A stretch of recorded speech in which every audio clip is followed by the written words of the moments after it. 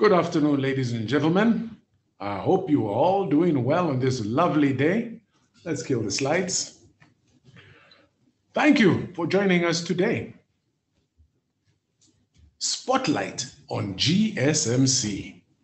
What an intriguing afternoon it will be for us. So at least in one hour, we're not going to take too much of your time today, but an hour to find out who is GSMC, who makes up GSMC, what does GSMC do? What are some of the products that come from GSMC?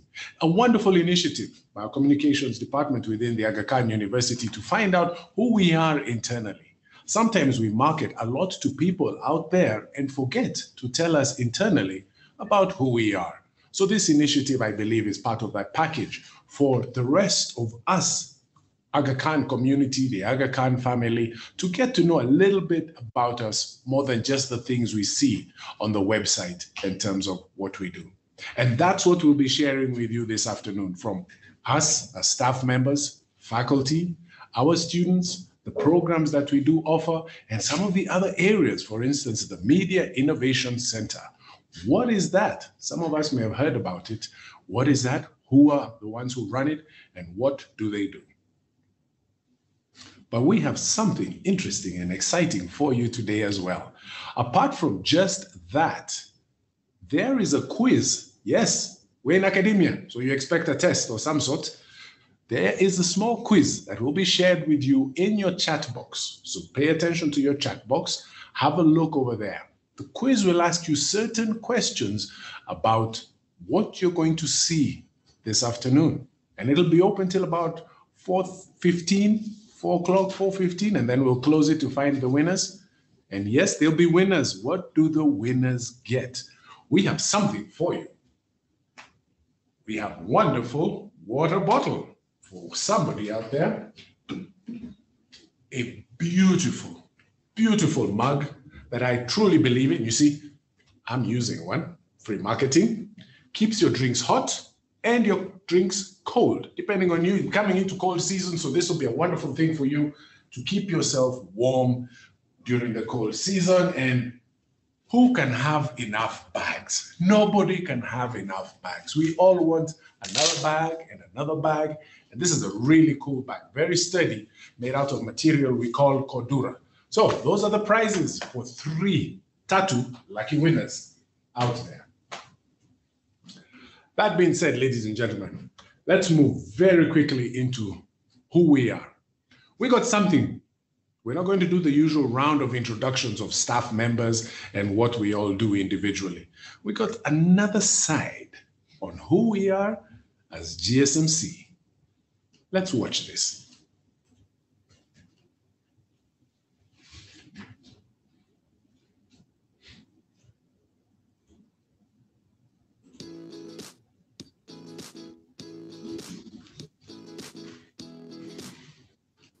Hi, I'm I'm the Dean of GSMC. I like to tell people that I'm a journalist masquerading as an academic. I covered the world for many years as a CBS correspondent. I helped build journalism schools in the US and various other places. And now I'm here, eh, kind of, sort of. I commute between Kenya and Scotland. Doesn't everybody? And my secret skill is I like to race big sailboats. Hi, my name is Nancy Booker. I'm an assistant professor and the director of academic affairs here at the Graduate School of Media and Communications. My secret skill is interior design. I not only spend my time dreaming about the spaces, but I also create them. So if you want your place turned around into this beautiful space, reach out. My name is Peter Kimani, uh, senior lecturer at GSMC and the founding lecturer uh, my special skill is reggae. Uh, I wanted to be a reggae DJ. Maybe it's not too late to be an arty professor.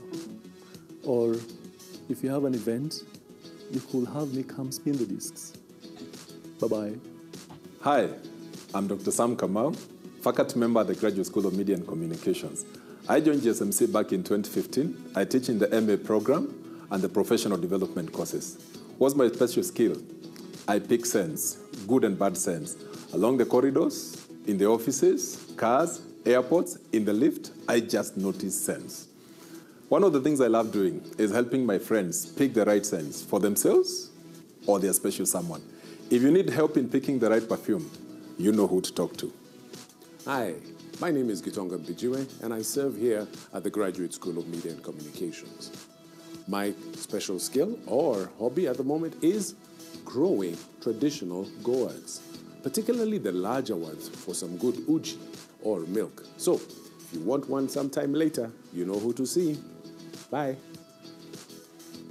Hi, my name is Soraya Shah. I work here at the Aga Khan University's Graduate School of Media and Communications in Nairobi, Kenya. I'm currently in charge of communications for this school, as well as looking after our grants part portfolio and our civil society portfolio as well. So I'm a jack of all trades and a master of all as well. Um, my secret skill is to design tribal tattoos. So if you're thinking of getting a tattoo and want a tribal, get in touch. Let's chat. I'll be happy to help. And yeah, have a lovely day. Bye. My name is Marion Joki. I am the Studio Technical Operations Manager at the Graduate School of Media and Communications. So basically, broadcast is my space. I also like to mentor girls who are taking STEM subjects, that is mathematics, sciences, and engineering. And my special skill is cooking Swahili dishes like uh, biryani, pilau, roast potato, and cassava. And you're welcome to my home for a dish. I'm Ali Khan Pir Mohammed. I run the professional development and executive education trainings here at the school. I'm here to dispel all rumors that I am a coffee addict or wannabe barista. I've heard some people even mention that I may have more than seven coffee machines at home. That is absolutely, that is true. That is absolutely true. Um, so if you want a great coffee, give me a call. Hi, my name is Christine Madoka. And aside from handling communications at the Graduate School of Media and Communications, I'm also the resident creative. My secret skill is that I grow orchids. And for those of you who have orchids know how difficult it is to get them to bloom. Sometimes you have to take real good care of them and even talk to them. So if you're looking at starting your own orchid collection or you just want to talk about orchids, you know where to find me. Bye. Hi everyone, my name is John Yaga. I do business development for GSMC. Um, something interesting about me is that I like technology, I like gadgets, I like software, and my friends say that's weird because I don't own a TV. Um, but if you're looking to buy a new gadget or figure out an algorithm, I'm the guy for you. But I'm not trying to replace IT. Hi guys, my name is Augustine Gitonga Nyaga. I am the librarian here at GSMC. An interesting thing about me, I love preaching and teaching the word. My secret skill, I love singing. I sing bass in the choir and I lead worship. Baba yetu wambinguni tunaleta sifa kwako. If you wish to hear more, you know where to find me. Bye.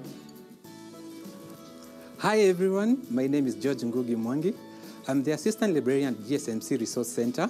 Uh, basically, we deal with information retrieval and dissemination.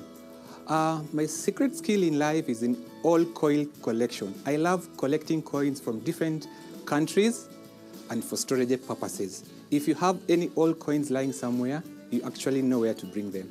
Thank you very much. Hi guys, my name is Marietta Mosioka. I coordinate the programmatic and administrative functions at GSMC. I really love writing, specifically human interest stories. I got quite a number that has been published already, tens that have not yet been published. Yeah, I am thinking about opening a, a blog, so you could check me out there when it's up. Bye. Hi everyone, my name is Laban Mwangi. I work at GSMC. I serve at the studio and ICT. One interesting thing about me is that I'm a cartoonist. I use satire in my illustration. This almost got me kicked out of high school. To get to see more about me, you can contact me so that I can give you access to my portfolio. Bye. Hello, my name is Daniel Mwangi. I work here at Graduate School of Media and Communication as an ICT and virtual learning environment support. And my second skill is that I'm an amateur motorsport racer. And my dream car to race with is Mitsubishi Evolution FQ 440 MR. And if you have one, I'm coming for it. Thank you. Hi, my name is Sandy Ogesa. I'm a Stella Executive Assistant. My secret skill is event planner. I plan most of the birthdays for my brothers and sisters, my nephews and nieces. Now you know who I am. Hi, my name is Henry Kibira. I'm the teaching assistant at the Graduate School of Media and Communications. Basically, I bring energy and synergy to the entire team. Uh, one thing that people have never known about me is that I am a poet. I write and recite poems. wanadamu tulolimika, sikiza miti, momonyoko wazulika, hewani miti. If you need a poet, then you know who to look for. Thank you very much.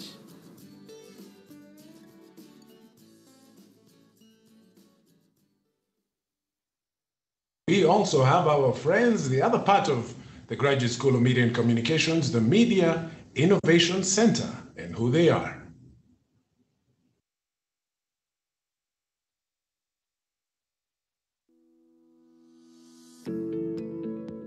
I'm Njoki Chege. I work as the director of the Innovation Center of the Graduate School of Media and Communications at the Aga Khan University, East Africa. My name is Hesbon Hansen Ochieng Owila.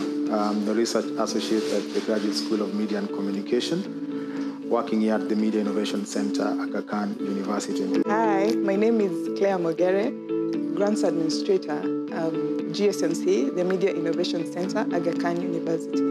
Hi guys, my name is Caleb. I'm the Communications Officer, uh, GSMC Media Innovation Center, Aga Khan University. Hi, I'm Benson, Community Manager at the GSMC Aga Khan University Media Innovation Center.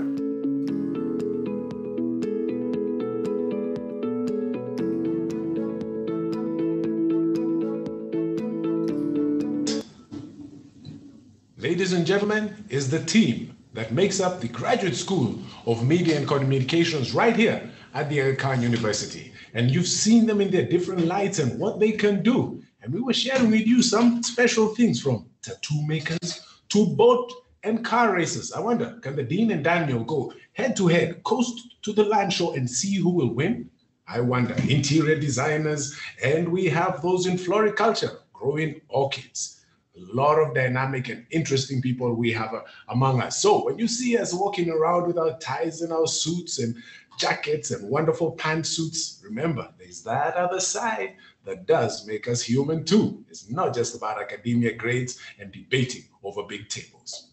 We hope you'll take care of that and engage with us. I can see on our chat box, we have some wonderful friends who are visiting us today, Alea, Irene, Julia, long time. I haven't seen you in a while, as well as Roxana and Stefan. Those are our partners with DWA, and we're glad they could join us. And somebody I took a class with, Ken Jenga, across the way in the medical college. Great having you with us today. And we're so excited you're joining us today to learn a little bit about GSMC.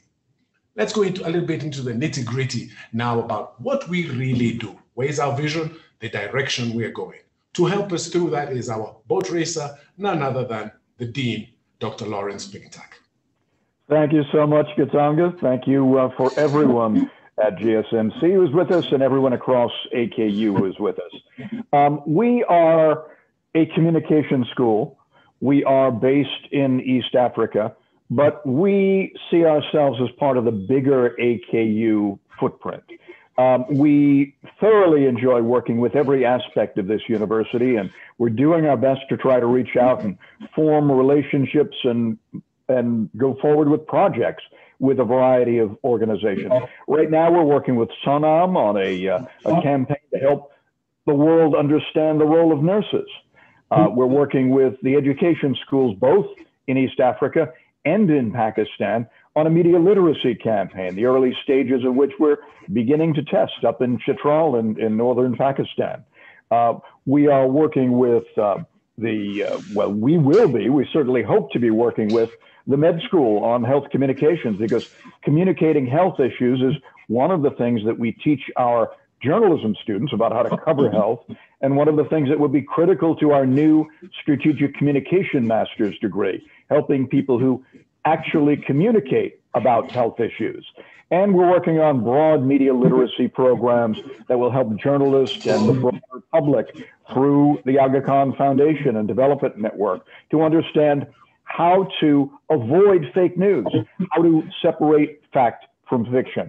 And of course, as the undergrad curriculum rolls out, we will also be playing a role. Uh, ultimately, we'll be expanding our programs up into Pakistan. We're working with the associate dean up there to make that happen. So we see ourselves as citizens of AKU, not just GSMC. So for that, now I will throw it over to Nancy Booker, who is the director of our academic programs. Nancy?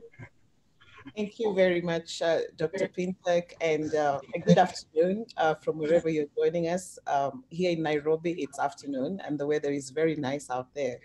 Um, so I'm the Director of Academic Affairs, and um, I'll just, you know, um, share my presentation in the form of a story. Um, in 2018, we opened our doors to our inaugural class of 25 students into our Master of Arts in Digital Journalism program. And we we're very excited about this um, a new kid on the block uh, that, that had come to us in the form of an academic program. Uh, over the years, that program has grown, and we currently have admitted four cohorts into the, into the Master of Arts in Digital Journalism program with a student population of about 124 students. Our students come from you know, the larger East African region. We have students from Kenya, Uganda, Tanzania, and as the Dean has uh, rightly put it, we are looking at expanding not just within the region, but also you know, across continents. And so we are very optimistic about uh, you know, the future of GSMC in terms of expanding our growth uh, beyond uh, the East African region. Uh, very recently, um, as recent as February this year, we launched our um, new academic program, the Executive Masters in Media Leadership and Innovation. And this program, you know, brings together a, a very impressive cohort of 21 students who are media leaders, media managers, drawn from uh, the three countries. And it's been a very, very exciting journey, not just being able to impact journalists who are, you know, charged with the responsibility of telling stories and reporting, uh, you know, to the rest of the world what's happening in their spaces, but also being able to influence media leadership and management in a way that, um, you know, is sustainable, in a way that responds to the ever-changing, um, you know, technological changes that have impacted the media industry, not just in East Africa, but, but globally. And so in total, we have about 145 students admitted at GSMC since we opened our door, our academic, uh, uh, our doors to academic programs. Many people do not see our students. And so sometimes, you know, if you come to GSMC during the day, you might ask, where are your students? Our programs are evening based and, and weekend um, based because all our students are working, uh, they're practicing journalists, they are uh, either leading or managing media enterprises. And, you know, at, as of um, today, we have over 30 different media organizations or communications related organizations represented in the various cohorts of students that we have. And that is a very, very humbling um, you know, reality for us, because what that tells us is that we are a, a very, very important player in shaping the media and communications space uh, in East Africa. And we are hoping that, you know, the same impact that we are having locally will be expanded within the region, but also in other parts of the world, such as uh, Asia. Um, now, one of the things that gets me very excited is that when you look at, at uh, the, the female to male uh, ratio in, in terms of practicing journalists in the region, uh, Kenya is one of those countries where you know you have both gender represented, and uh, you know the latest data from uh, the Media Council uh, puts that at about 30% female to 70% male. Now, as GSMC, we are very, very particular about ensuring that there is diversity in our cohort composition. And I, I can proudly say that we have surpassed that mark as I speak to you, we are looking at 41% female students and 59% male students. And we are, we are very hopeful that in a, in a couple of years, we will be looking at a 50-50 representation because we understand the importance of having both gender uh, shaping and influencing the media and communications landscape, not just in East Africa, but also um, globally. Uh, in terms of how we teach, uh, we we are very delighted and, and, and excited to bring together both local and international faculty all very accomplished uh, in their own right. You have had some of them speak to you uh, this afternoon uh, through the video uh, in terms of the various skills that they, they possess. So if you're looking for a DJ, you know, you don't need to look far. If you're looking for, uh, you know, somebody to guide you on how to choose your scent, you do not need to look very far. Those people form part of the uh, team a very small team, but highly energized, deeply motivated, and very, very passionate about, uh, you know, journalism. And so these guys give their lives, um, spend days and nights ensuring that our students are getting quality education. But we are also very uh, uh, careful to ensure that our students can play in the global space. And so um, what we have done in terms of uh, ensuring that there's diversity in the faculty composition is that we have both local and international faculty. So we have three full-time faculty, but we are supported by a very challenge. But let's see, she'll be right back on uh, shortly. Faculty, many who but nonetheless, no problem. We will keep rolling with that one. Remember, there's that quiz that we've asked you. Don't forget to check your chat box and punch in your answers to it. We have a lovely mug, water bottle, and bag to be won by some of us. As we check on Dr. Booker and coming back in, I just want to say once again, oh, we've been lost totally.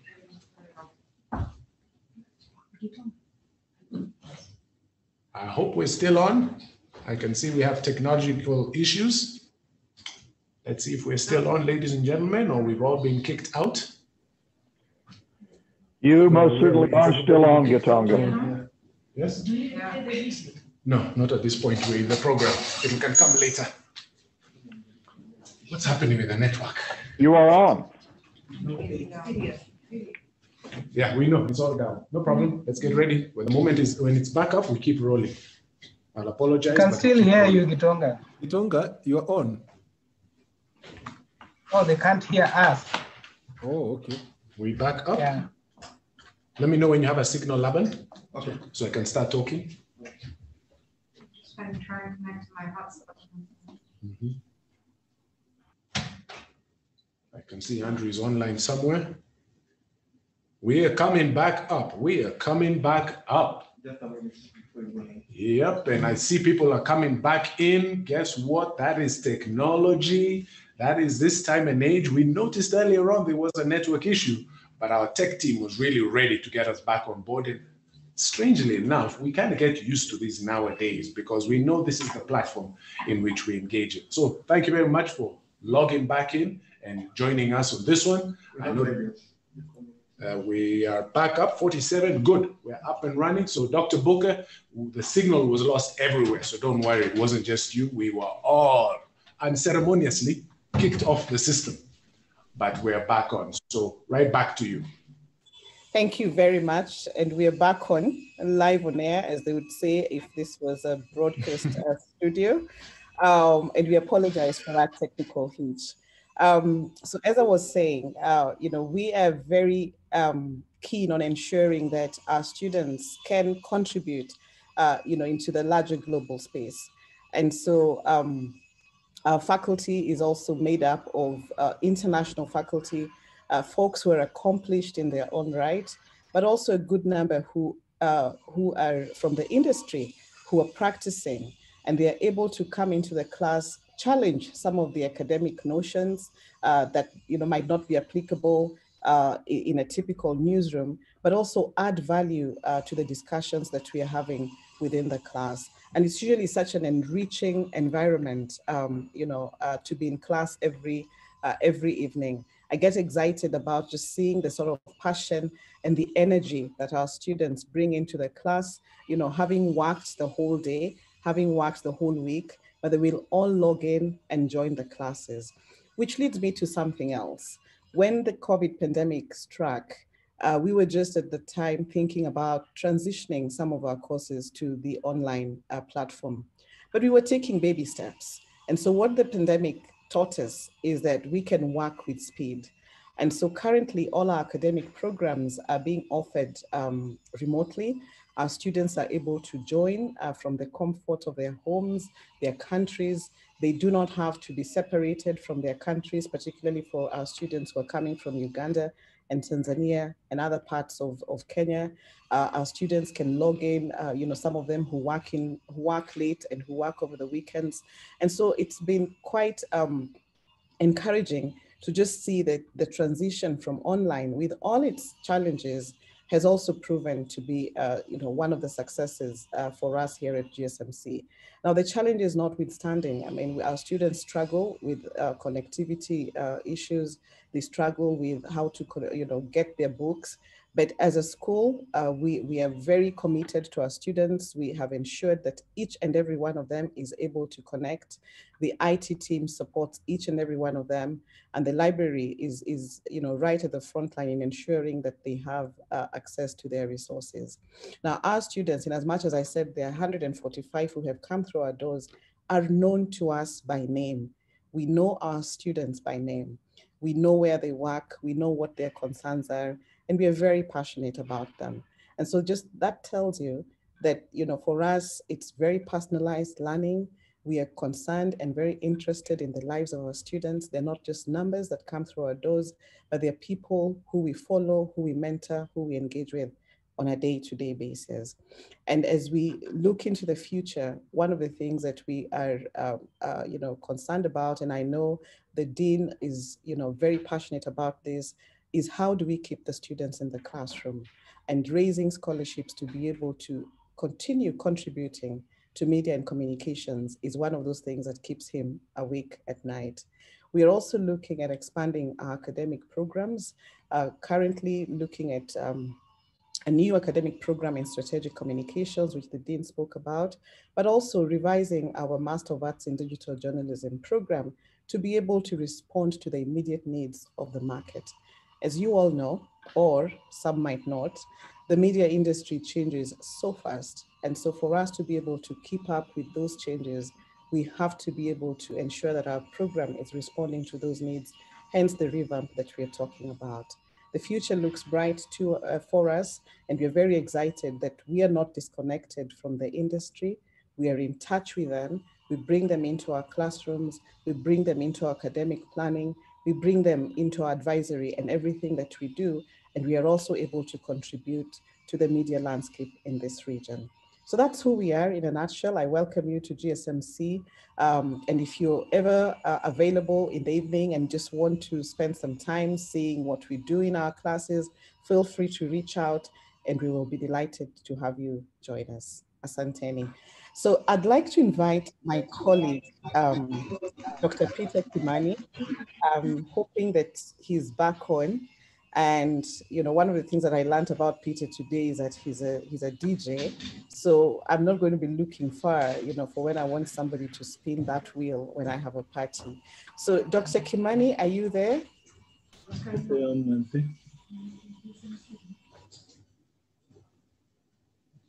Uh, can you hear me?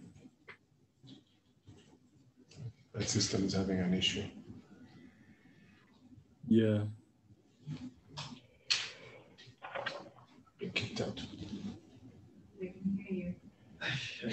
We can hear you, Peter, but I think uh, we keep losing uh, the uh, case study room in the central uh, studio, as it were. Okay. If you can hear me, why don't you just go ahead because everybody else online can hear you. Sure, sure. Uh, thank you, Laura. So um, I, I am uh, the founding faculty member. So when I was uh, recruited to join GSMC, um, it was uh, it was a work in progress. We still think it's still a work in progress, but I think we've matured in, in many ways. Uh, so we have consistent, you know, graduation calendar uh, that allows students to come through our courses for two, years, and that's a major milestone. Uh, so uh, I have been teaching uh, practical elements of journalism. So um, anyone anyone who comes to my class uh, is uh, is guided through the processes of producing news. Uh, and that was that's what I did in my previous life as an editor. I was uh, a senior editor at The Standard, which is the oldest newspaper in this country, more than 100 years old.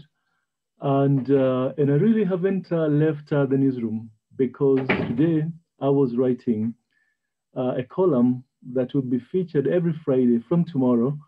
Um, my, my commentary on politics, culture, and society, which is to say, we don't theorize journalism, we practice it.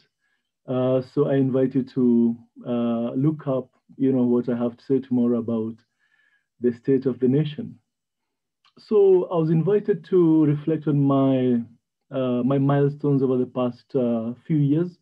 I think I'll be marking six years uh, in two months.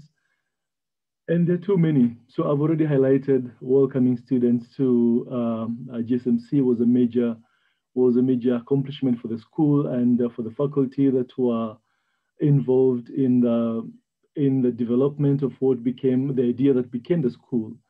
Uh, so uh, I have also published, besides lots of newspaper articles, for local papers as well as for those international.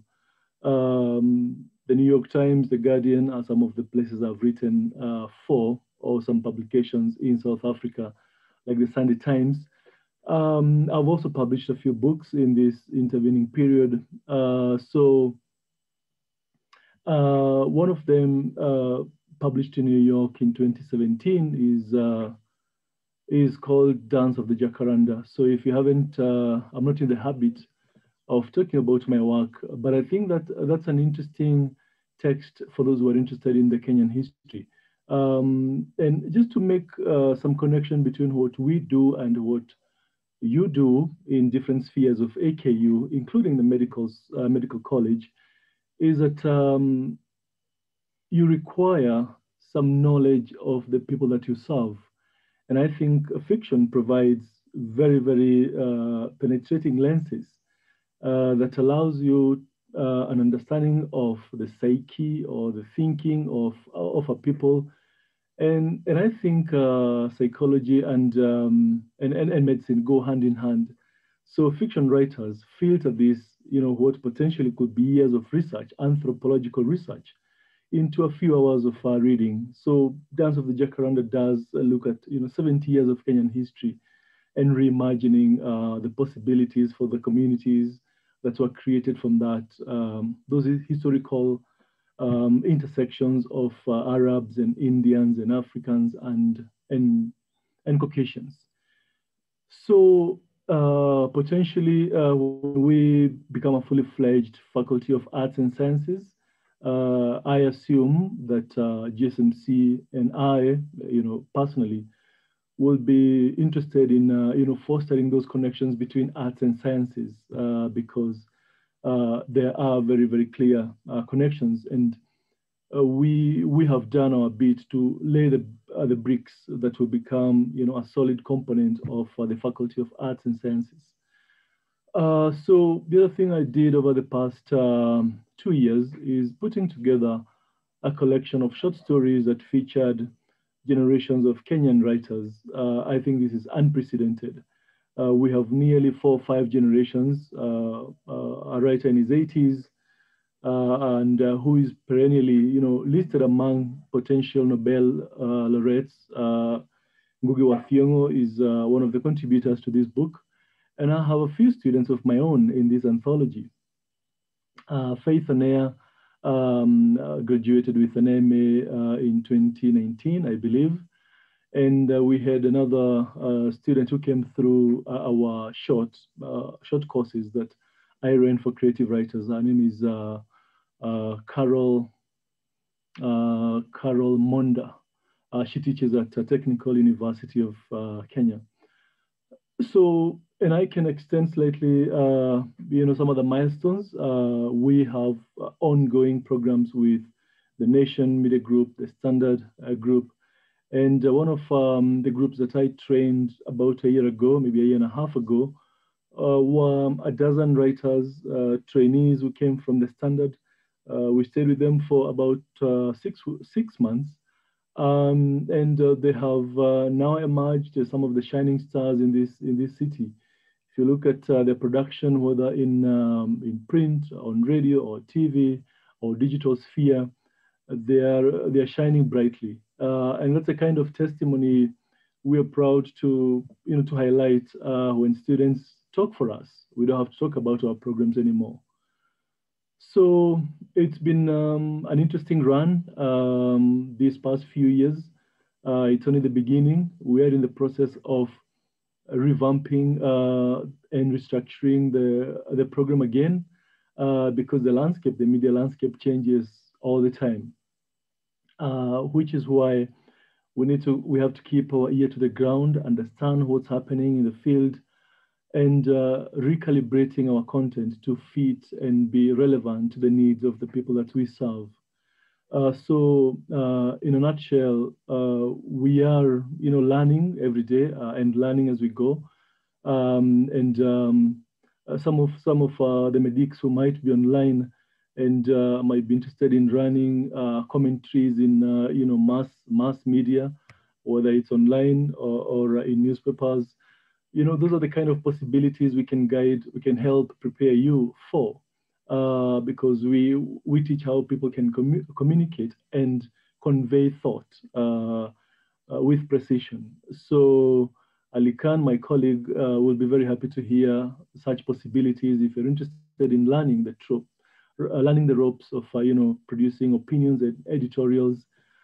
he can harness a group and um, we can organize something that allows you some deeper insights into not just what we do, but practicing that as well. Uh, so um, I'll pause there uh, unless there is any question. Um, and um, I hope to engage with you as we come close to the, the University Hospital uh, in a few months. Thank you very much. Thanks for that. Thanks for that, Peter. Thank you very much for that, Dean Pintak. Thank you very much for that, Nancy. You've heard from faculty, and there's this saying that went around some time ago. Vitu kwa ground ni different. But is that the case? And I say that because they've talked. But the question is, what do our students say? Remember, we're talking in-house, we're talking internally, and we really want to know, are we doing what we really need to do here in AKU in our different areas? We heard nursing, now you're listening to Graduate School of Media and Communications. So let's take this opportunity to listen to two of our students whom we're very proud and excited about and hear what the real stories are from their side. First of all, visiting us from another country, right next door, our good old country, Uganda, is none other than our friend Alec um, Andrew Andrew Arinaitwe, who is a freelance journalist, and he is in cohort number three. So we're really looking forward to the day he'll be walking across the stage and graduating uh, from the graduate school. Alex, uh, Andrew, I don't know why I'm calling you Alex. Sorry, my apologies on that one. Andrew, tell us about your experiences.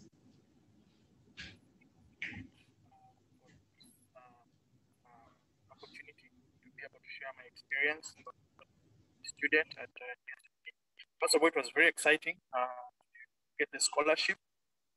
And i remember asha telling me uh, asha abdallah is working on how to give us the scholarships we're in uganda by then. And she told me the scholarship is yours. It's not for anyone else. That's when I knew that um, it's written on it's only for me and no one else. So uh, it was such a great opportunity uh, to just find myself at the time, start pursuing a master's, uh, especially paid for uh, uh, by someone else and me, because I couldn't figure out how I was going to pay uh, such a huge sum of money compared to the salary I was getting. you know, journalists are not paid that well. They're paid that well, then other things I'll probably pursue uh, uh, a scholarship. So I'm now working with a Mail and Guardian, uh, which is interesting because I had to make a very critical decision uh, on my future, and that was to resign because um, I, I realized that at NTV Uganda, where I was working, uh, I had time to be able to pursue a master's. So it wasn't within their policy to allow me to study while I work. So it was a very tough decision. I was at the peak of my career. I was flying all over. I think I was then I was in Netherlands. I think I was in Belgium. I was doing a story on terrorism. And then Asha sent me a message and tells me we want your payment slip. I, I, I, that's when it dawned on me that I had to resign and leave this job. Yet I was at the peak of my career, which is very hard for journalists, especially uh, when they start uh, uh, when they start, uh, when they when they decide to pursue uh, the, the program, and they have to resign and then pursue the program. So it was a very difficult decision. But then the fact that they told me that uh, I would I would receive what we call stipend, then that made my life very easy uh, because um, you have to you need an income uh, to try uh, to balance life and uh, continue living your life normally without having to get uh, hiccups or hurdles along the way. So the stipend really made a lot more difference in how I was pursuing my career and then even jumping onto the master's program because by then I think I was paying uh, uh, school fees for my uh, younger sister uh, who is pursuing her degree. So, and then I had some affairs to take care of. The assumption usually is that when you're single, you don't have responsibility, that people who are married have more responsibility than you. But uh, the truth is that even single people still have a responsibility. So uh, I had to figure out whether this was going to help me pursue my program, the master's program, while I also I didn't have a job. And luckily enough, uh, I ended up working as a freelancer and discovered that uh, uh, it, it, it really had a lot to play with uh, how I would uh, forge my way because resigning is not an easy thing and yet you have to forge your way and still earn a living.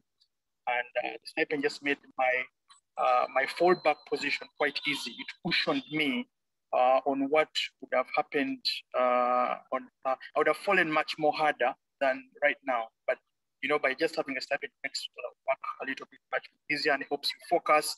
And then you start thinking about your career, your future, and start looking out for certain opportunities that wouldn't have existed. The, the mindset that you have to work on a permanent job had to change. I had to think of now creative ways on how to make an income outside uh, my desk job.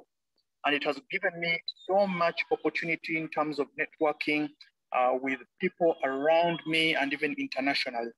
Working with the Mail and Guardian, which is just a, an international organization, gives me access to uh, freelancing opportunities within that realm and also exposes me much more to uh, a, a, global landscape and audience compared to my local audience, uh, and of which they don't pay in Uganda shillings, they pay in dollars.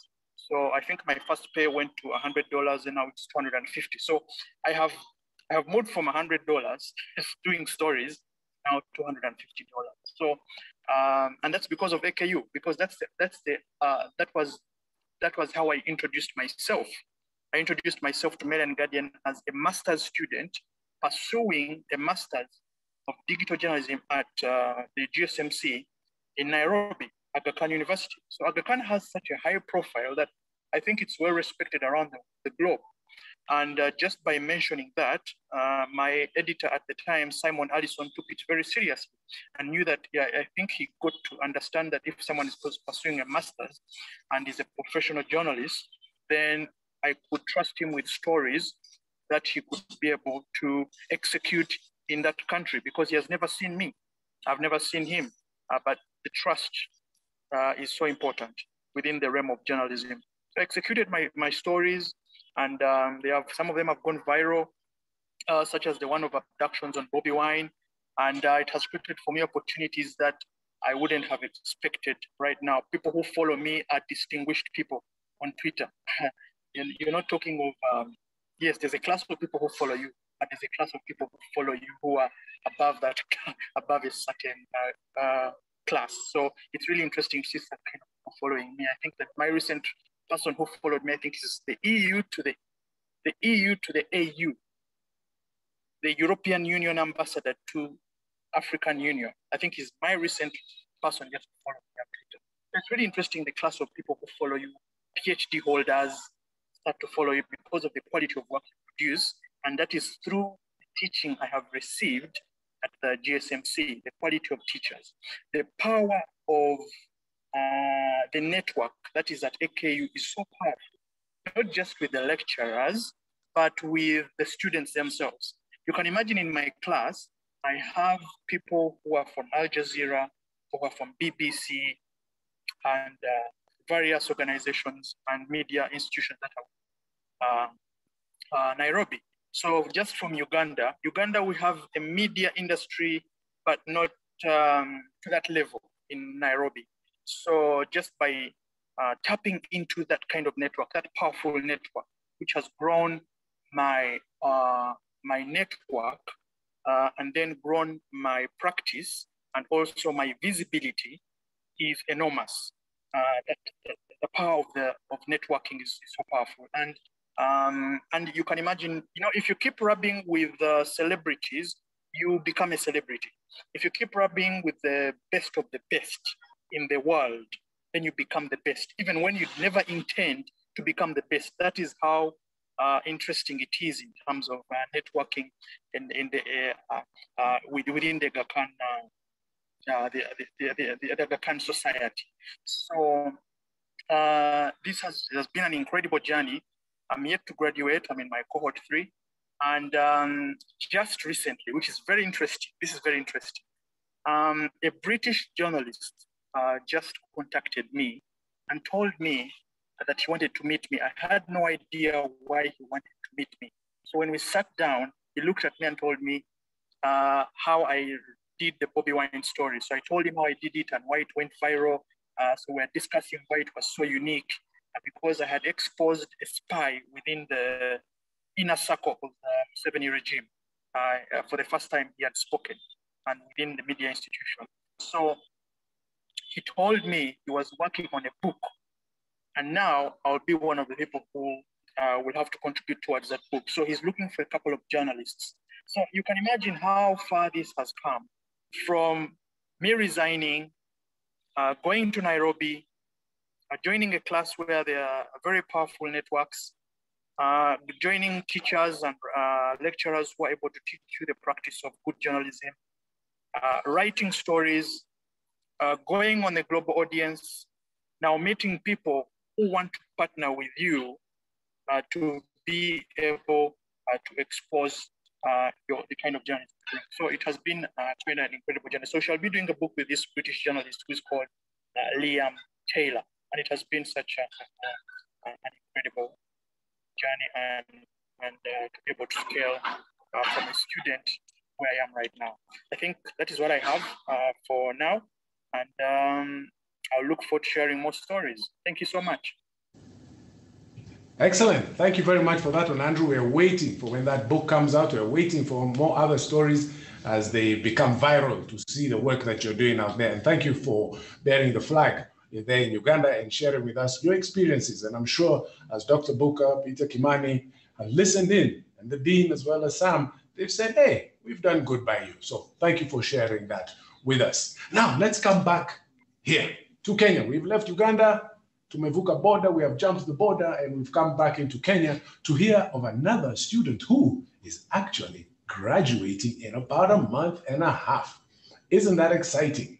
The student is cohort number two, who currently works as the Accreditation and Compliance Manager at the Media Council of Kenya. Isn't that fantastic? This is none other than Rebecca Mutiso. Rebecca? Good afternoon, everyone. It's such a good thing to be here. And uh, just behind you, I can see my favorite spot where I used to sit. And that brings some nostalgia in this class. I really miss class. it's such a good opportunity to come to the spotlight, speak about my experience at uh, GSMS, uh, GMC, sorry. Uh, so I've been here actually for two years. It's been quite a journey. I've loved every bit of it. It's quite challenging. It, it pushes you to become a better person, to think outside the box. And that is the one thing I love about Aga Khan University is that it does not teach you to become just a student, just to just give you papers for the sake of it. It challenges you as a person to think about getting solutions to the problems that are facing the media landscape today. For example, uh, the inter entrepreneurial class that we had, the digital, journal, uh, digital journalism class two, we were taught how to become innovators and actually pushed me to apply for the Aga Khan Innovation Innovators in Residence program, where one of the projects I had emerged as a finalist. And I guess that's all because of Aga Khan University. It taught me if you're in the media, don't just think about sitting behind the chair, the swivel chair, and acting like a boss. You need to go out there and actually do the work. So, what do I love about GSMC? Oh, class. Class was the most wonderful, wonderful, amazing experience I've ever had because when you came to class, it was not a classroom experience. It was like a melting pot of the best minds, right from the lecturer to the students. And I remember most of the time, the subject of the discussion was what was happening in the media landscape at the time. So class was very practical. It was a mix of academia and uh, of course, practical learning because we used to go out to the field most of the time to practice what we learned in class. All the group work was really amazing. And uh, I remember one of the things that things that I learned from the group work with my team members was that you really have to learn how to work with other people. And to when uh, okay, I remember when I was coming to Aga Khan University, one of the things that I wanted to become is a multimedia journalist. How to learn how to shoot a video, how to do a radio story, as well as a multimedia story by uploading it maybe on the internet. And I guess at the end of it, I have achieved all that. I have to talk about the research project, which is one of the most important aspects or at the Aga Khan University, because they just the, they, the school does not just teach you how to like sit behind the class or to just keep quiet. It teaches you how to go out there and actually do a research on a topic that you love. And I remember we were told, please pick a topic that you love. And for me, of course, I chose, I chose sorry, solutions journalism. And I was so happy to find that one of, of the faculty members was really passionate about the subject. And he was one of the of my supervisors, Dr. Sam Kamau. So he took me through the entire research very well, and I really, really enjoyed it. So, uh, but let me not lie to you, it's quite challenging. But if you have the tenacity, and of course, the, the, the faculty will guide you through the process. Uh, I also, okay, uh, I know I'm in the graduating class, and I have to tell you, it's going to be quite a, a big accomplishment for me as a mother, as a as an academia, of course, and uh, and also as a person who really is passionate about media. Learning how to balance school life and work is, is very important. And I guess the curricula at uh, GSMS, GMC really helped me do that because the classes, of course, started from Monday to Thursday. On Friday, you could come to the library and do your research if that is what you needed to do, or, or you could just stay at home and just finish your assignments. Of course, the online portal also made things a lot easier for us because you could access learning materials in advance and go through them. And so that when you come to class, you're able to interact with the faculty as well as the other students from a point of information. So for me, it's really, it was really a nice experience. And uh, it's something I would advise anyone who wants a world class education without having to travel abroad to actually consider applying for. Thank you very much. Hey, Rebecca, thanks a lot for sharing that. And uh, thank you too, on a light note, for giving us a new name. I think now we are the Graduate School of Media Services, GSMS, yes? Don't worry, we can laugh about it. It's okay. yeah. we know you're one of us. We know you're one of us. So no problem. We'll keep the name as is. We understand the spirit of it.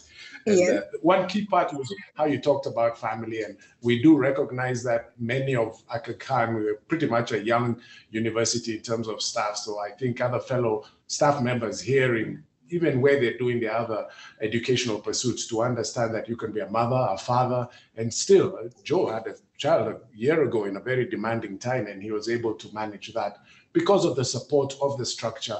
And we know as AKU how we try like to keep that atmosphere and environment to support each other. So thanks for reinforcing that to us uh, while we were here.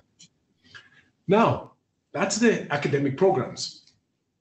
But there's that other component we touched on earlier on, ladies and gentlemen.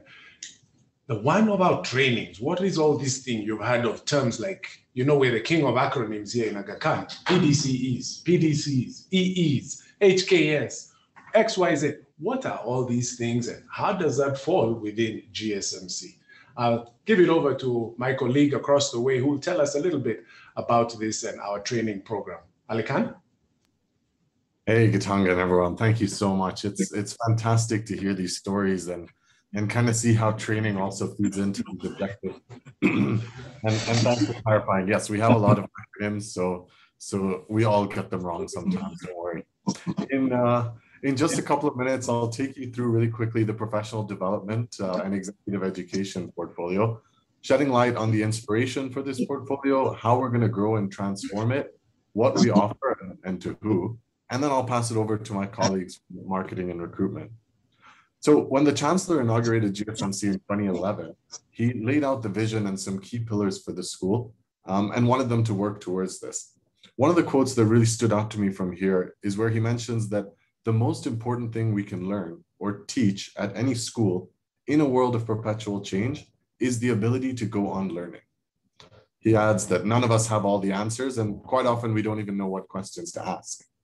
So, to equip people with the skills to navigate the dynamic media and communications landscape and build capacity, and of course, ask the right questions, GSMC has been running professional development training since the school began, and we've been offering a suite of courses now we're in a phase where we're growing and expanding this, this portfolio. We're building in systems and processes to develop sustainable measures. We're expanding our suite of offerings based on current market needs, and we're capturing wider audiences. We're also adapting quickly to digitally transform our programs because we've been used to a very traditional in-person training model. So we're taking them online um, and we're leveraging synchronous and asynchronous learning. So a combination of live sessions and and using online tools. So the courses, you know, are offered across a range of professional development, executive education. I know my colleague Dr. Kimani talked a bit about the Nation and the Standard Media Academies, which are custom trainings that we do for, for media houses. We also run a mobile journalism fellowship with Facebook to kind of support the impact of new technology on media. So our courses target media and communications professionals with some programs specifically aimed at civil society organizations and NGOs, because that's an area that we really want to build capacity as part of the larger AKDN. This year, our suite of courses spans across themes like media engagement, specialized reporting, multimedia skills, crisis communications, and more. And we recently wrapped up a fully virtual offering of our Engaging the Media for Civil Societies course, which has been a GSMC flagship for years, and it enables participants to navigate and leverage the East African media landscape for advocacy, really building healthy media relationships between civil society um, and the industry. For journalists, we're launching a suite of courses around specialized reporting from health, data journalism, financial and environmental reporting.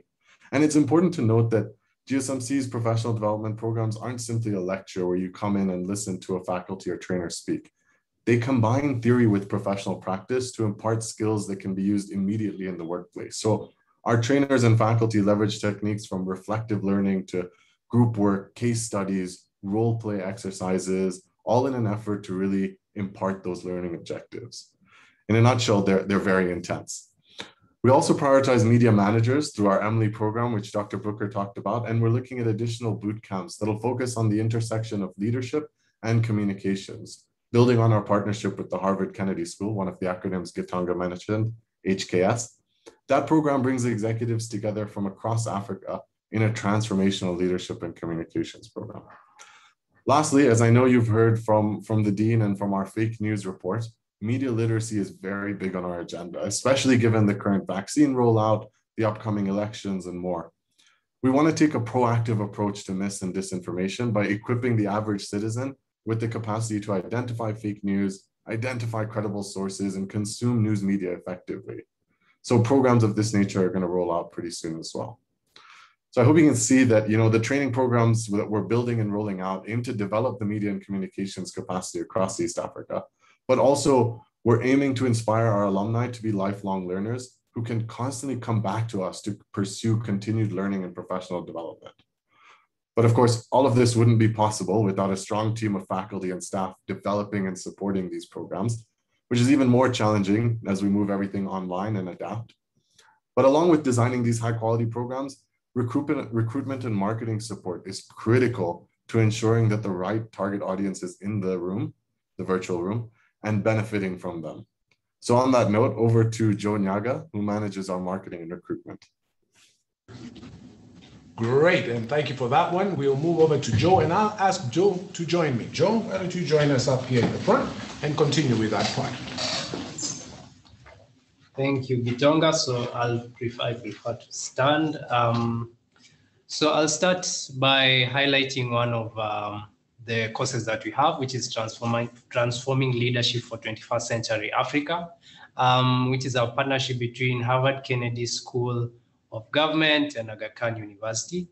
It has enrolled over about, uh, it has enrolled uh, participants from 22 countries in Africa, which is quite a huge, quite a huge success, sorry. Um, so these flags show um, the impact that we have, we've had in Africa. Uh, so from East Africa, we have Joseph Boinnet, who is well known here in Kenya, who's a former chief of police, now CAS of Ministry of Tourism.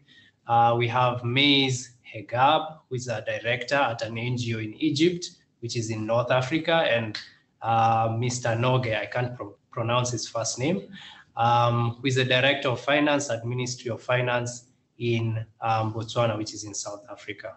So um, one of the key highlights of the program is um, we got we give the participants a chance to reflect on their leadership and how they're doing at their work, and uh, which is one of the things that we'd like to achieve from a leadership um, uh, uh, program as a school. Yeah. Um, so over to the next slide, uh, engaging the media program, which is a personal favorite. We have many programs here, but engaging the media stands out for me.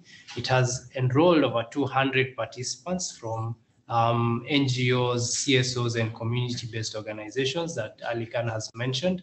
And these communicators come from both uh, from Kenya, Uganda, and Tanzania. And we want to work on getting some people from Rwanda and Burundi as well. Some of the organizations we've worked with are um, the Red Cross Society, PharmAccess Foundation, and Muhuri, which is Muslim um, human rights organization, which is uh, based here in Kenya.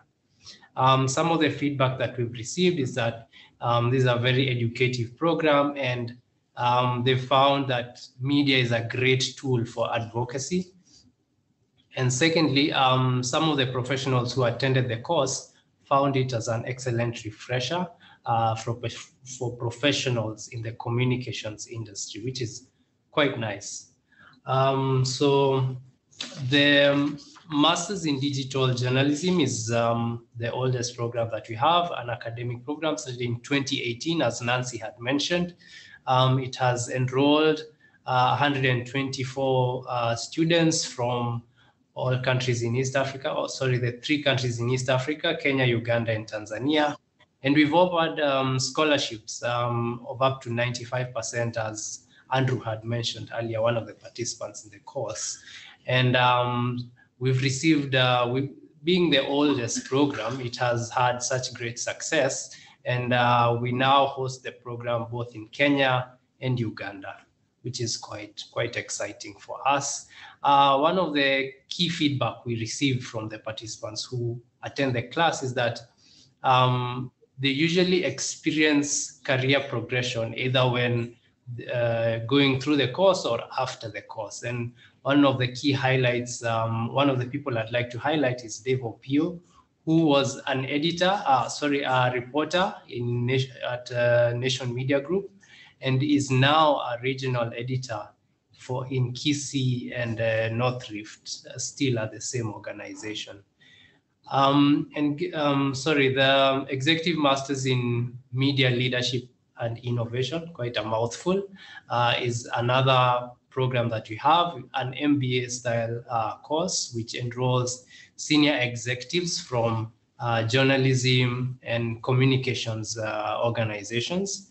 And uh, I'd like to highlight um, three of the participants just to give you a um, general feel of who would attend uh, such a program. So we have Mr. Bakari Muchuma, Machumu, sorry.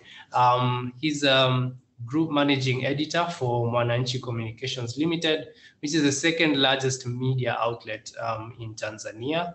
Uh, John Allan Namu, who is uh, famous for his for his investigative pieces here in Kenya.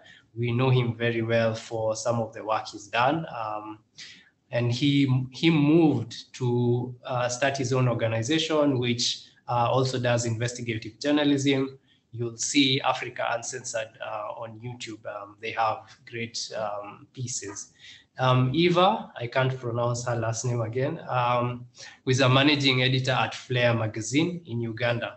So last month I got to talk to um, each and every one of the students in the Emily course, uh, Executive Media Leadership and Innovation.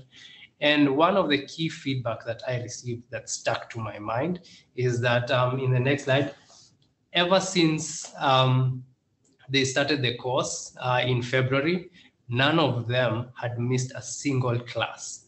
There was, they have had 100% attendance, which speaks a lot about the program, given that these people are senior executives in, in, in their organizations and they're quite busy. So this is quite something and shows the kind of work Nancy is, um, is, is producing. So thank you so much. I'll hand it back to Gitonga. Um, thank you. All right. Thank you for that, Joe. Really appreciate you sharing that with us. We're coming fast to the end of what we want to share today. And as we get that, I'll ask us all to do one thing. Right hand up. Let's see, right hand up. I, I know you're hiding behind the cameras, but those who are around me can do it. Left hand up. Cross them tightly across yourself. Yeah. Squeeze and release. Don't you miss a hug? I miss hugs. I really do miss hugs. So that's a self hug. When you're feeling sad, it does two things gives you a great stretch and releases some good endorphins, and you just feel love. Love yourself always. And I say that because our friends who are going to be introduced by the Media Innovation Center I miss them coming over because they used to come with chocolates and sweets, which I really love too. So since we don't have that love, we'll do a little hug and be able to enjoy ourselves on that one. Our lovely friends who are across the street, literally they're down the street from us in Peponi, our good friends from the Media Innovation Center, the other half of the Graduate School of Media and Comms. And with that, I hand it over to my buddy, Hesbon Owila, to lead us through the media innovation. Hesbon? Thank you, Gitonga, for doing such a wonderful job.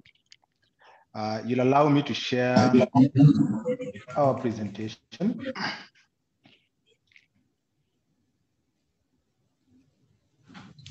Yeah, so my name is Hesbon Hansen Ochieng Owila. I've been introduced to the media innovation team here at uh, GSMC. I'm currently serving as the research associate, and today I have this honor of sitting in for my director, Dr. Njoki Chege, who is uh, not around. So I'll briefly take you through what we do at the Media Innovation Center here at SMC, Aga Khan University. Uh, in my presentation, mine is going to be very short, uh, but uh, today we also have our colleagues from the DW Academy, so I have with me here Stefan and Julia Wegner. So they'll take at most two minutes to just talk about uh, Media Futures East African project. And then of course, we've also been honored to be having with us our innovators in residence. So I will also introduce them and probably give their team leaders one minute each as they speak to the slides that I will display. So uh, first, I'll talk about the Media Innovation Center here at Aga Khan University, which was established in 2019. And it is fully funded by the German Development Bank, KfW, within the Media uh, Futures Project in East Africa. So broadly, the Media uh, Futures Project in East Africa has the objective of strengthening the long-term viability of the media in East Africa, making some demonstrable contribution to the quality of the media and the access to the media in East Africa. So the Media Innovation Center, which is within this wider project and part of uh, uh, the Aga Khan University, works essentially to support the next generation of media entrepreneurs who are working, you know, on unique ideas within the media industry and tinkering with uh, novel storytelling, uh, you know, forms and, and, and genres. So as part of the Media Futures Project, we essentially work to incubate, accelerate, and support innovations that contribute to the media landscape in a sense that makes that media landscape a lot more free, a lot more independent, a lot more innovative, a lot more evidence-based, and committed to the society in a way that is viable. And of course, when we talk about media viability, we are looking at it from the DWA conceptualization of the media viability that has these two strands, you know. So there is element of quality content that responds to the needs of the society, and then the element of financial sustainability. So all the innovations that we are incubating, accelerating, and of course supporting through training, coaching, and mentorship, you know, have to be anchored around quality content and financial sustainability. So briefly, we have so many programs and one of our flagship programs is a one-year residency program called the Innovators in Residence, uh, in which uh, the Innovators in Residence have a period of one year at the Innovation Center here. And during this one year, we support these innovators in residence and the wider members of our community through training, mentorship, coaching, and then the innovators who are in residence, other than just the training, coaching, and mentorship, have an additional grant of 20,000 US dollars that is meant to help them transform their ideas into the next viable media enterprises. So where we are today, we have had two successful innovators in residence, our first cohort. So that's the Bank Media and uh, Ludiquarks. So they did their residency and they're already out there running their ideas as media enterprises. So today, we are here to introduce uh, our current cohort of innovators in residence. But of course, this slide, you can see the team. We are a team of five within the GSMC family. Uh, so we have Njoki, who is our director, Claire, who is our grants administrator, then there's Caleb and our community manager, Benson. Now, what we have as our innovators in residence, and they're essentially part of the AKU family for the next one year, and even after that, they'll become part of our alumni. So the first group that we have in the current residency from Kenya is called the Lam Sisters. Uh, so Lam, the Lam Sisterhood. So the Lam Sisterhood is a very interesting group, and what they're looking at, they're looking at uh, you know African stories, uh, especially African women stories. And what these stories do is that they make these African women and their stories feel seen, heard, and loved. So I will just give Aleya one minute to take us through these three slides, you know, that capture what uh, the LAM Sisterhood does. Aleya?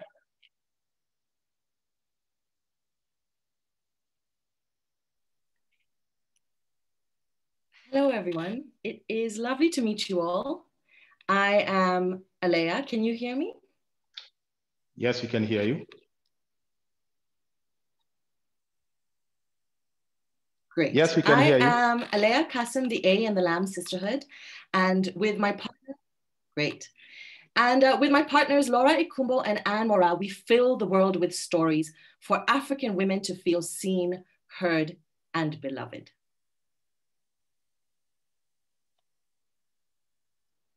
So give you a, this is a little a little pictorial of Laura, myself, and Moraa when we were producing the award-winning theater show, The Brazen Edition, which uninvisible the lives of extraordinary Kenyan women from our history. And this was the inspiration of our flagship product, which we will be um, in residence with the Brazen Podcast. Um, if you can share the following slide. Great. So the Brazen Universe. Our innovation is developing multimedia content that shares the life stories of African women who've shaped our reality. I'm going to deviate from the slides just a moment because I want to tell you about what we do. Fact. Mekatilili wa Menza, at over 70 years old, walked from Kisii to Kilifi. Story. Mekatilili was imprisoned in Kisii. Home was Kilifi, and she had to walk. You know how much walking that does to a body? You stop being a person. You become just a body walking. You become toenails falling. You become blisters bubbling, joints swelling, heart pulsing, pounding, breaking. Nobody. Yet she kept walking. For over 1,000 kilometers, she kept walking until she was home to find that she had spurred a revolution. The fact is, we are hungry for these stories. African women are erased from our history by the colonizers who erased our stories, by patriarchy, which suppresses the stories of women, by leadership, terrified of the power that African women have. And we must fill in the gaps.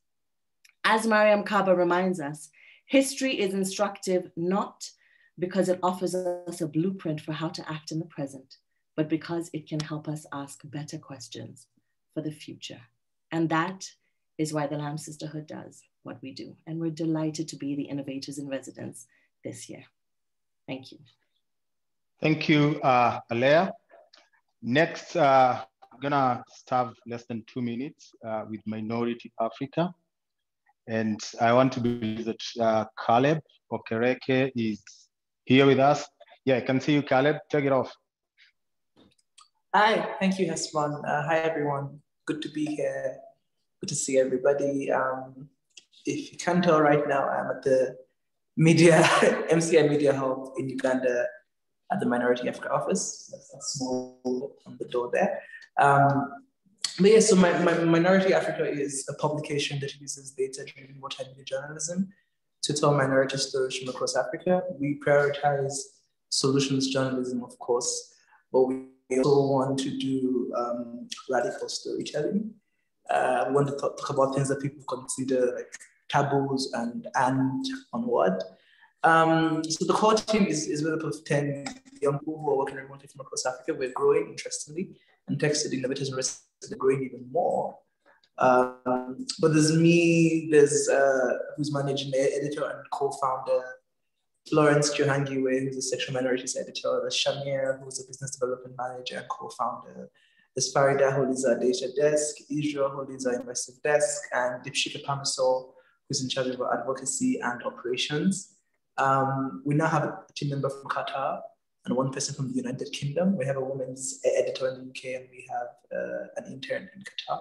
Um, but bulk of us, so the, the of us are here in Uganda. We did content in this small office here where we basically think of new things to do every day.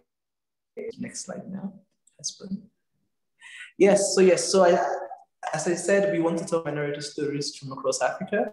Um, but then what minority stories? So for us as a newsroom, that definition is called evolving, but it's also rooted in two things. Number one, it must be social and systemic like oppression. It's never really about numbers, but about the opportunities that like denied people because of a certain reason. And when we say minorities, it's good that we realize that there are people who are doing the minorities, and you know, it's not an autonomous decision. But we do cover women as minorities, we cover sexual minorities, religious minorities, ethnic minorities, persons with disabilities, and refugees. And we do all of this through solutions to journalism lens. You'll often find us ranting on a category on our website called Voices, where we do we published something yesterday on Akon City and how it's a capitalist, you know, institution camouflaging as something for Africans. Um, but yeah, so the idea is journalism for minorities by minorities. So our team is made up of minorities themselves. We have editors, and I'm going to get more for each of our desks because I don't like do things regarding women's stories I'm not a woman. But we want to create an Africa in which minorities are better represented and understood.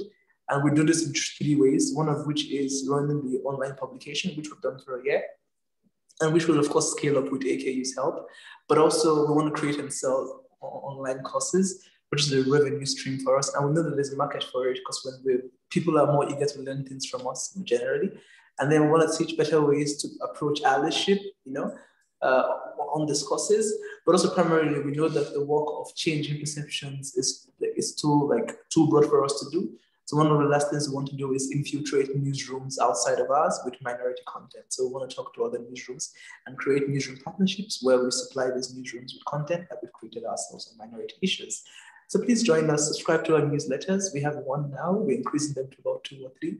We're launching a WhatsApp newsletter as well. Um, just happy to be in innovation residence. Uh, incredible. Thank you, Hassan. Thank you, Caleb. Uh, one thing I need to note is Minority Africa is uh, infiltrating newsrooms all over the world, but they are from Uganda. Uh, the LAM Sisterhood, uh, you know, making the entire universe Brazil, but they are from Kenya. So next we have our innovators in residence from Tanzania, Honor Stories. And with us here is Tulanana to take us through what Honor Story is all about.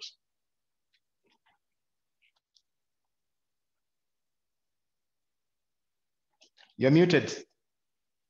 You're muted, Tulanana. Hi, sorry. Hi, my name is Tulanana Bohela, and I'm from Dar es Salaam, Tanzania. I'm a journalist as well as a media entrepreneur. I've co-founded Honor Stories, and uh, with my co-founder Princely, who couldn't be here with us today. Um, so what is Honor Stories? We, we call ourselves a storytelling um, company and we help companies, brands and people to identify and tell their stories well. Um, we do this through three, four major ways, and that's in, through uh, digital media training, connecting people more with um, how they can use the digital platforms better, uh, we are pioneering in, um, in, VR and AR here in Tanzania uh, in the scopes of immersive media and how that can be used to tell more African stories and journalistic stories as well.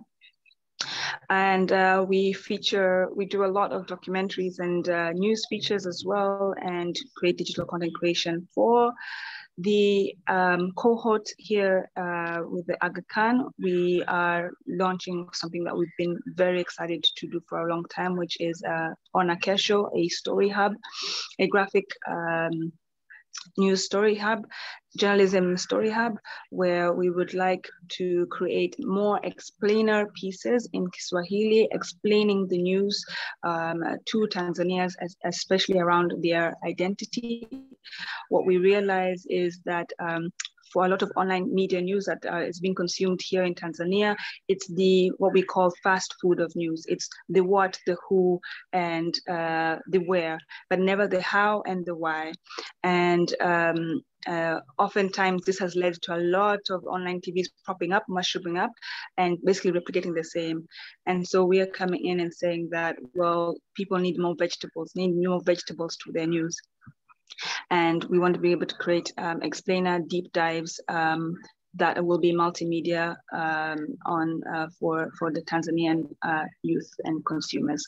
Um, so yeah, uh, that's Honor Stories and that's Honor Kesho. Thank you, Tulanana. Uh, finally, we have uh, part of our first cohort, which now forms our alumni. So this is Louis Quarks. And of course, we have the banks. Uh, the tail end of this presentation will talk about the banks. But at this point, uh, I want to give uh, two minutes uh, to our DWA partners. As I told you, we have the Media Futures East Africa. So uh, the Media Innovation Center is part of the Media Futures East Africa, where we partner with DW Academy on so many other activities that we are involved in. So to take it off is Julia Wegner, who is the project manager of the Media Futures East Africa.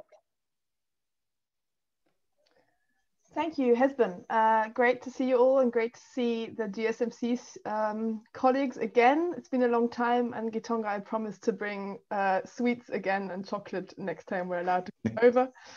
Um, and yeah, as has been said, we uh, are a big project and the MIC, the Media Innovation Center, is a big pillar of it. Um, this is what the whole project looks like in theory. Uh, in working line one, you see what uh, Hesbon has just been describing on the on the very left, and working line two is what we describe as uh, the the rest of the project, the Media Futures uh, East Africa project. But really, we're um, a combined project. We do everything together, work very closely hand in hand, um, all in the name of media viability and media innovation. So um, to rather than bore you with the details, and as this event is called Spotlight, uh, we thought we'd spotlight two parts of the rest of the project that happens. One is the consultants um, for media viability. So as um, Hesbon has already mentioned, we work in Uganda, Tanzania, and Kenya um, for this project. And in all three countries, we're training media viability consultants. So um, people from very diverse professional backgrounds who can go into media houses. And here we're focusing more on smaller and medium-sized media outlets, often in rural areas to help them support with their viability. And if you wonder, what is this viability I keep mentioning? It's basically the ability to produce um, quality, quality journalism sustainably. And you'll see in my background, all the aspects that belong um, to that. Um, and there's a there's an explainer um, video to explain a bit more about that. I'll send the link into the chat for those who are interested in hearing a bit more about it. Um, if you could just move on to the next slide. Um, thank you, Hesbon. Those are the um, six areas that the media viability consultants focus on and are um, looking to support the media houses they work on, um, work with on.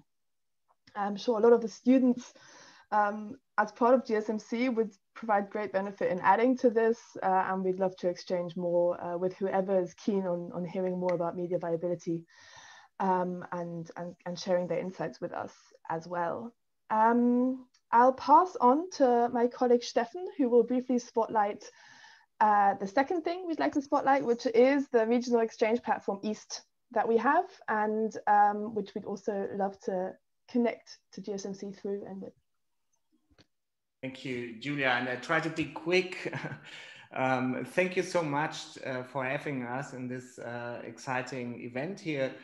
I had so many insights today. Thank you for that. And I'm more convinced even than before that we have to join more forces between Deutsche Welle Academy, GSMC, and the Media Innovation Center because we all have this shared goal to improve quality uh, journalism in East Africa. And I wanted to give you a, a, small preview on the right side, you see on the slide of the East platform.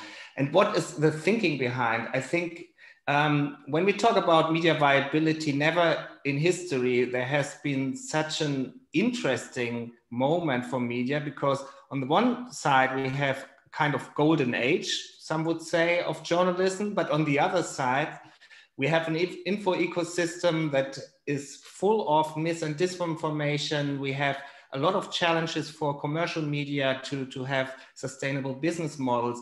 And, and so I think there are no solutions out there, easy answers to these questions. They are complex issues. And we need to, to have a kind of exchange of ideas between the brightest minds on media innovation and media viability. And this is the idea of our East Side, uh, magazine style blog where we bring together researchers, practitioners, innovators, and they write and talk about um, key issues of media innovation. How can we find solutions to all the challenges? I'm really looking forward to more exchange with this great expertise you have at, at uh, GSMC, also on the East side. And the East side is also getting content from partners in Uganda and Tanzania, for example. And this is something unique, I think, in the East African info ecosystem that we are going to publish soon um, in a couple of weeks. It will be online and you will have the, the opportunity to, to look at it. And even if you want to engage with us, we are here for you to um, open for your suggestions, of course, and looking forward to your insights. So thank you. Thank you, Stefan. Uh, I think uh, that gives you what the Media Innovation Center here at GSMC does in a nutshell. And of course, the larger family of the Media Futures East Africa, which is part of what the Media Innovation Center is working with. Uh, one thing that I probably want to finish with is the fact that a lot of what we do promotes adaptive approach to innovation for media viability. And research is a very key part of what we do. At the moment, uh, we are involved in an East African-wide research uh, called the Innovation for Media Viability Research. We are collecting data from Kenya, Uganda, and Tanzania. We are pretty much done with Kenya. We are doing the data cleaning and data analysis. So in the next uh, three months, we'll pretty much be done with uh, that research. That is the last thing I would say about the Media Innovation Center. Thank you very much. Back to you, Gitonga. Wow, we've heard it all, ladies and gentlemen. From tattoo makers, boat racers, interior designs, innovation, telling stories, producing new content online, and best of all, chocolate. Yes, that's why we themed it chocolate. We are going to get chocolate. You heard it yourself. She said it, and I want my chocolate, Julia. Ladies and gentlemen, we come to the conclusion of this event, but we promised you something much earlier on the winners of today's quiz. We have two winners. And guess what? Winner number, what do you call it? The runners up. Number two is, let's see if you can all read that name. Oops, it moved to the other camera. I moved there. That is the winner. Nazra, you win a water bottle from the Graduate School of Media and Communications. You like my character too, huh? Where is it there? Yeah, I'm not so good at drawing, but I try. Yes. And winner number one, drum rolls, ladies and gentlemen. Winner number one is boom. Joyce Wangu, you win that special cup. Tutakunywa chai pamoja. We will drink tea together with it. Yes. So congratulations. We really thank you for participating and joining. And what Stefan said at the end is actually why we do this. We've seen some of the comments on the chats at the end from fellow faculty and colleagues across the campus saying, hey, I didn't know this, or this is exciting, this is enlightening. Even within GSMC has said that. The importance of sharing information together because we're all so very busy where we are. So Henry, we see you're online with Carol. Thank you very much for joining us and putting this together, as well as with the rest of the team, Dr. Booker, your team out there, Dean, for allowing this to happen. And very, very importantly, I move to this device. You can all see in my camera the team behind. Yes, we got those in the background who have been helping us make this work. From Soraya, Christine, Dan, and Laban, hidden, but so critical in terms of making this work. And most importantly, each and every one of you for giving us time today to be able to share our story. Our students, thank you so very much for sharing your story with us. With that, ladies and gentlemen, have a wonderful, safe time. Get your vaccine if you can, whichever it is you prefer, but stay vaccinated, stay safe, keep your mask always around you, and we hope to see you very, very soon once we turn, once we tame this monster called COVID. Have a wonderful afternoon. And as we conclude over here, please share comments, anything you want on the chat. We will share with you our introductory video for those who are not there. Joyce Nazra, you have my email, or rather Christine's email. Contact us, put it in the chat. We'll get your water bottles to you and your mug. Have a wonderful day. Ciao.